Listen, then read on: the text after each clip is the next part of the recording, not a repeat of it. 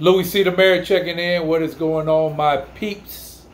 All live right now from the southernmost point of the United States, 90 miles from Cuba. Hit the subscribe button right over here. Boop! It's all love and share on all platforms. So today I'm gonna talk to y'all about how a DJ thought he was DJ Kid Capri, and we had to fire him uh, because uh, he thought he was on another level.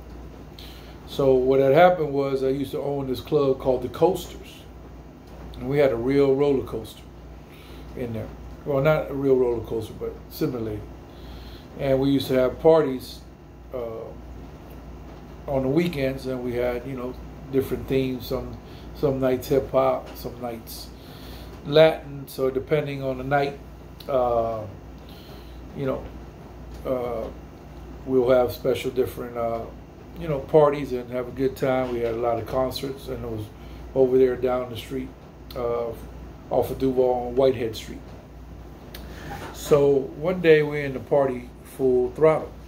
So when the DJ is at a party, your job is to you know rock the crowd and make sure that everything is good to go.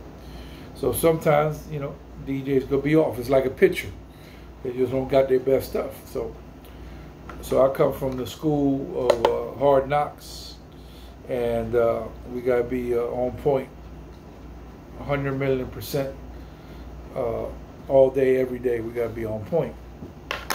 So what had happened was this particular DJ, I'm gonna give you all a name in a minute. Shout out to FloridaKeysInjury.com, accident lawyers in the Keys.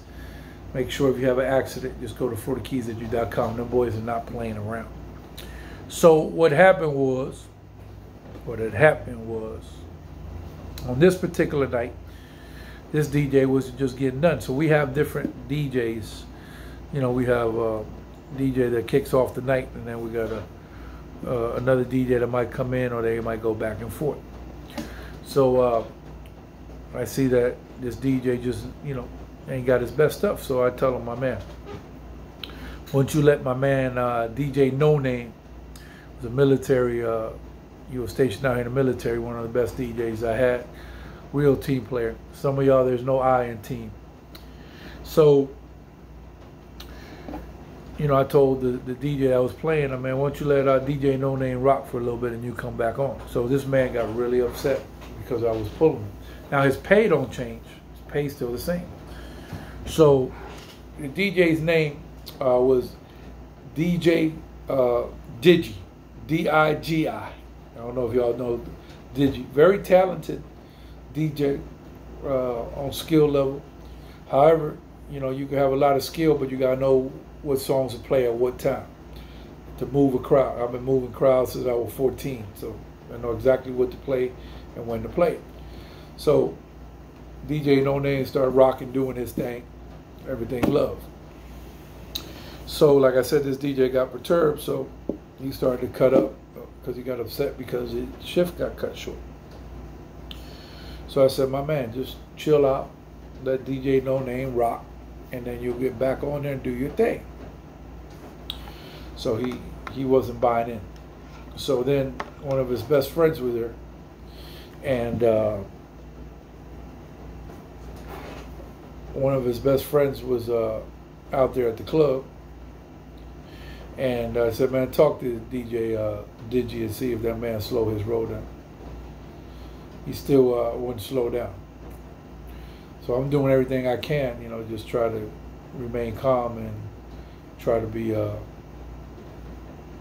you know, uh, solid and make sure that everything is uh, not an issue for the evening. So then uh, he still ain't turning down, man. Turn. Matter of fact, he turning up times two. So then I had a, a partner down there, my man Veli. God bless uh, Pasha.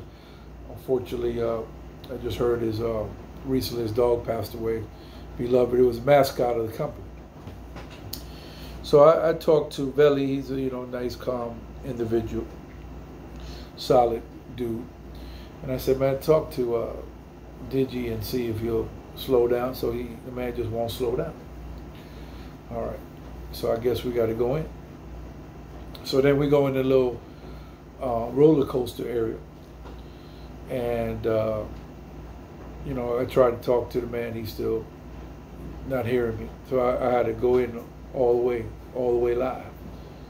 So I said, who the hell you think you is? You, you think you DJ Capri, Kid Capri, Funkmaster Flex, Mr. Mix, or somebody like that?